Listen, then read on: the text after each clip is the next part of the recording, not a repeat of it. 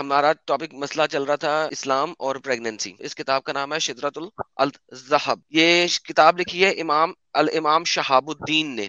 ठीक है जी, बहुत बड़े स्कॉलर हैं, ठीक है।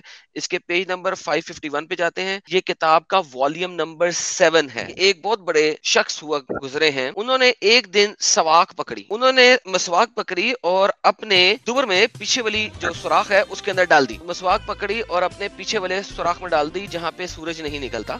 और उनको काफ़ी तकलीफ़ शकलीफ हुई, ठीक है। और फिर तिस आतुल आशरा के अंदर, नौ महीने के अंदर उन्होंने एक बच्चे को जन्म दिया और उसकी जो शक्ल थी, वो हैवान, एक जानवर की तरह थी वजल हैवान और उसकी जो चेहरा था, वो एक चूहे की तरह का था। तो ये कहते हैं, the man took a stick and in his buttocks ठीक है? ये सिदरतुल दहब की वॉल्यूम नंबर सेवन है।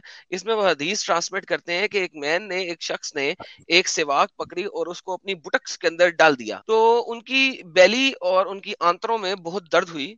काफ़ी सख्त दर्द होना शुरू हो गई लेकिन उन्होंने वहीं पे रखी। और फिर वो प्रेग्नेंट हो गया और आठ महीने के बाद उसने एक बच्चे को जन्म दिया जो कि जानवर की शक्ल का जान, जानवरों की तरह का बच्चा था, उसकी दुम भी थी और उसका जो शक्ल थी, वो एक चूहे की तरह की थी। अब हम जनाब जाते हैं एक और बड़ी इंपॉर्टेंट चीज़ की तरफ़, क्योंकि यहाँ पे आपको पता लगेगा कि साइंस और इस्लाम कितना एक दूसरे के साथ साथ चलता है। ये है जनाब तफसीरुल कुर्तबी ठीक है, कुर्तवी जो है, वो मुसलमानों का एक बहुत ही बड़ा शख्स है।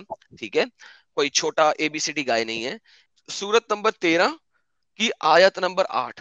अब एक शख्स ने एक चूहे को जन्म दे दिया ठीक है? मर्द ने बाई दबे मर्द ने जन्म दिया मर्द ने जन्म दिया मसवाक अपनी बॉटम में डाल के मर्द ने जन्म दिया वहीं से निकला होगा ना सिस्टर अब। ये कुर्तुबी को ट्रांसलेट भी नहीं करते यार अगर देखा जाए और वो भी आपने जो दिखाया आइटम वो भी फिका हम्बली के बहुत बड़े स्कॉलर थे जो हदीस उन्होंने जमा करी है। इमाम अहमद बिन हम्बल की तकलीद करते थे वो। जी जी आ, जेंगू बंदे हैं सर मैं कोई सर हल्की चीज़ में दिखाता ही नहीं हूँ। हल्की चीज़ पे लोग जो है ना वो फिर लड़ाई करते हैं कि यार हम इसको नहीं मानते ये कुर्तुबी को भी ट्रांसलेट नहीं करते मुस्लिम आपको बहुत कुरान की कॉमेंट्रीज के ट्रांसलेशन मिलेंगे इसका करने से डरते हैं मौलवी। ये कुरान की सूरत नंबर तेरह की आयत नंबर आठ है और इसमें कहता है अल्लाह अल्लाह जानता है जो पेट में रखती है हर मादा और जो सुकड़ता है रहम और जो बढ़ता है और हर चीज़ के इसके नज़दीक एक अंदाजे से है। आयत नंबर आठ, अरहाम वमा तरादा की तावील में उलमा का इख्तलाफ है। और हज़रत कतादा ने फरमाया है, यानी ये कि जो नौ माह से पहले बच्चा गिरा देती है और जो नौ माह से ज़्यादा अरसे में जनती है।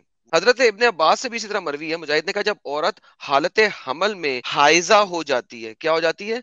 हालत हमल में हाइजा हो जाती है। तो ये इसके बच्चे के लिए नुकसान का बायस होता है। सर अगर हमल ठहर गया है तो क्या तो औरत तो ब्लीड कर सकती है ये हेज हो ही नहीं सकता उसे। सर ये अब अब, अब ये हज़रत कतादा से रावी है भाई। मुजाहिद ने भी कहा है मैं क्या करूँ? इस्लाम हाँ, बता रहा है हाँ। मानो आप अगर हेज छह दिन से ज़्यादा हो जाए तो नुकसान हो चुका होता है। क्यों?